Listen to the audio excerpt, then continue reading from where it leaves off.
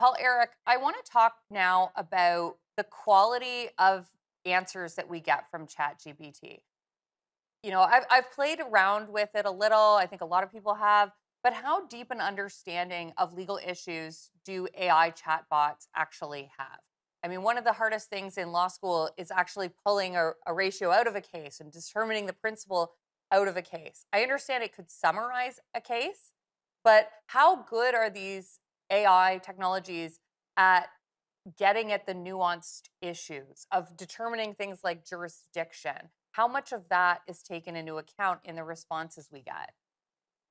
Um, so, short answer at the moment, I think they're not great. So, to my mind, ChatGPT is and and similar technologies are much better for um, doing a thing than answering a question. So, as a silly example, um, I was sitting at home one night watching The Office, the American version, which I love, and I thought, "Hey, ChatGPT, could you write me an episode of The Office, but where everyone in the office is lawyers?" And it did a great job of producing a script of that. It was very funny with just the right styles. It's great at that but you ask it a fairly basic legal question where it has to sort of draw on external knowledge is what we'd be asking it to do it's not great at that.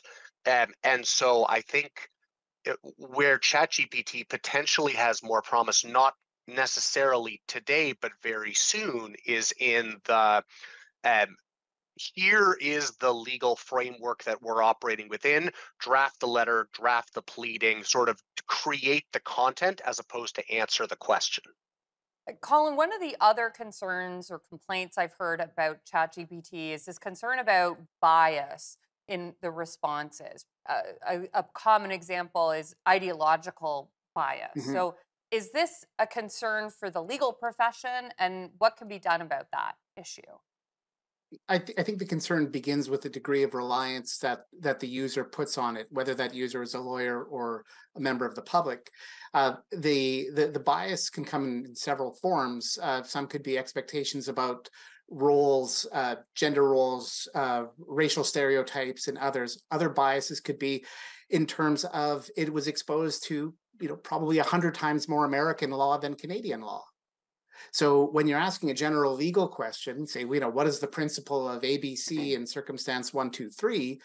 Uh, it's more likely than not to draw on its understanding of American law.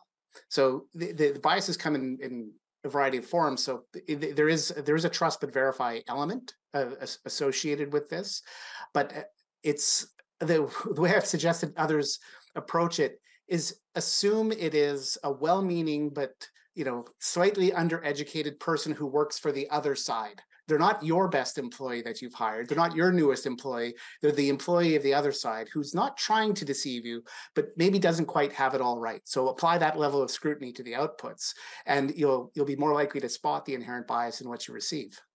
Uh, monica one of the other things that i have as a concern is that chat gpt you know it might not be up to date right Eh, the, the law changes very, very rapidly. Uh, and if you are making submissions in court, you should probably, before you stand up, check to make sure nothing has changed, you know, the week before you you stand up before a judge. But how rapidly does ChatGPT get updated for things like developments in important case law? Um, is that something that people should be concerned about as well? Yeah, uh, it's a it's a good concern. So the GPT 4.0 is up to date to 2021. So it's not going to be current to what's happening today. So you I, I would recommend not using it for legal research. What I think is the opportunity or what we're going to see in the future is where big companies like Thomson Reuters, LexisNexis, which have a repository of case law or any company that has this repository of case law is using that and leveraging the generative AI in their systems.